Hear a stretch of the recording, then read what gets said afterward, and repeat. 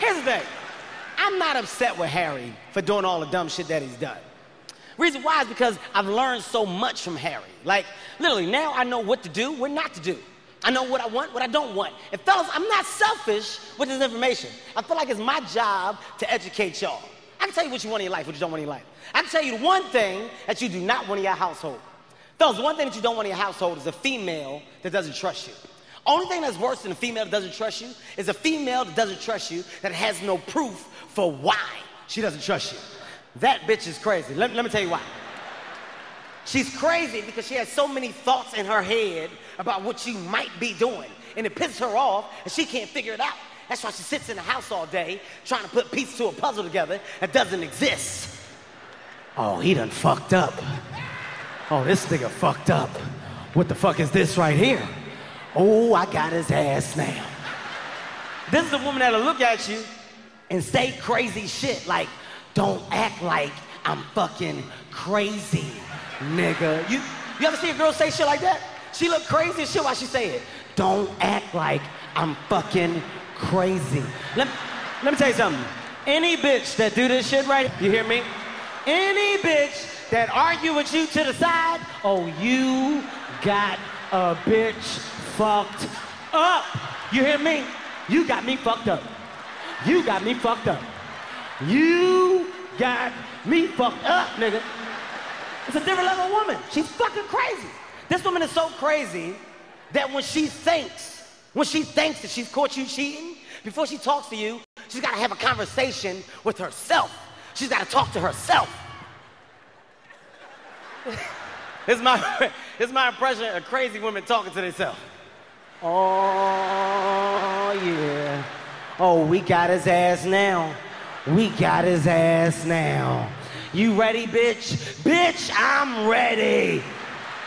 Ain't nobody there, just her. Now, she's so crazy that she can't even stick to the plan. The plan is to see you. When she sees you, she's supposed to show you whatever she found. You're supposed to talk about it, figure out the next steps in your relationship. But she's crazy. It's so much bottled up emotion and built up tension inside. As soon as she sees your face, she snaps. She fucking loses it. As soon as you walk through the door, shut the fuck up. Shut up. Don't say shit. You a piece of shit. oh my God. Have you ever seen a woman go from frantic to calm, like real fast? Motherfucker, you a piece of shit. I can't believe you hurting me. But it's gonna be the last time that you do some shit like this to me. I don't give a fuck about it. I don't give a fuck. Let me tell you something, nigga. You gonna get your shit together. Are you like yeah? He's a fucking psychopath, man. Crazy women always want to tell you what you did. They always want to run down the story. Let me tell you why you fucked up. Let me tell you why you fucked up. Last night you come here, you're a little drunk, you're a little tipsy. You decided to go to sleep on the couch. You take your pants off, you put your pants on the floor. Something told me, something told me, something was like, girl, go through his pants. I was like, all right, that's crazy. That's a crazy girl face. All right. So I get up, I go through your pants, I found a receipt. You had a receipt in your pants for some gas, but it wasn't any old kind of gas, it was regular gas. That's funny. I'm with you all the time. I've never seen you use regular gas. Ladies, let me ask you a question. Why is that whenever you argue with your man and you repeat yourself, the second time you say it, you get loud as shit? I've never seen you use regular gas. I've never seen you use regular gas. You know who put the regular gas in the car? That regular bitch that you was with. That's who put the regular gas in the car. Shut your ass up. Shut up. You caught. You a piece of shit. Look at you. You got glitter all on your face, mismatched socks. Now, ladies, let me explain something to you. 99% of the time, you're right. 99% of the time, you're right. That 1% when you're wrong, that's the day that men live for. We live for the day that we can make you look dumb as shit. That's our goal as men. I'm gonna tell you three words that you never wanna hear come out your man's mouth.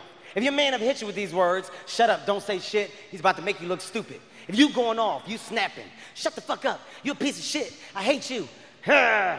If he, if he hits you with this right here, are you done? Are, are you done? He get cocky. Can I, are you done? Are you done? Okay, okay. I'm about to shit on this bitch right now. Are you done? You done, right? You done, right? Are you done? Are you done? Okay, okay. I'm laughing.